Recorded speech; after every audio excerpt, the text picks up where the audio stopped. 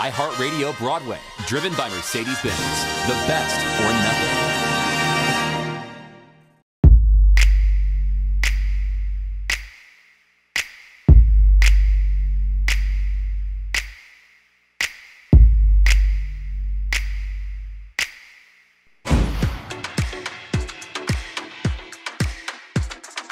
I'm just so excited that um, Moulin Rouge is celebrating teachers and first responders. I think it's such a great thing, and I'm really excited to be here. I think it's a wonderful opportunity um, to show the love that everyone across the world and now the theater is showing for first responders. Thank you very much for doing that, by the way. I am so excited to be privileged to be here tonight, to be part of this big celebration. Um, I work for Lincoln Center Theater and I'm a theater educator and our whole industry has been shut down for almost two years.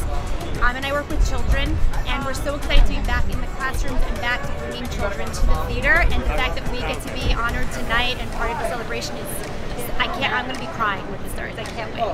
I think it's a great way to come back and see Broadway shows again, and that we have this opportunity to all come out and do this together. I saw this show right before we closed down, and this is the first show I'm seeing while we're back up, so it's a great treat for me.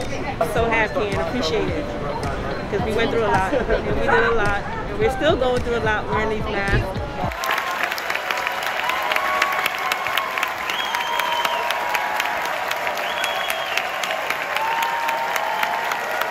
On behalf of all of us, cast, musicians, crew, everyone working on this show, we want to welcome you to the Al Hirschfeld Theater and back to Broadway. Tonight's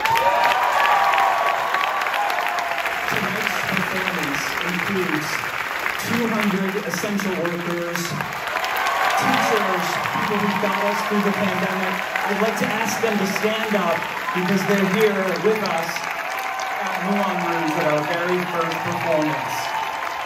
Behalf of the cast and the crew and the creative team and every single person that put forth the effort to make this show happen, I'm so happy to say, we are so happy to say, welcome back to the Moulin Rouge!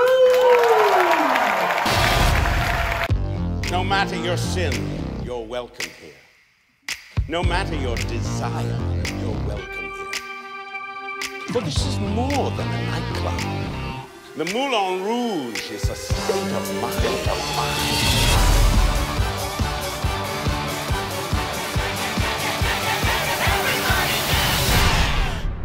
iHeartRadio Broadway, driven by Mercedes Benz. The best or nothing.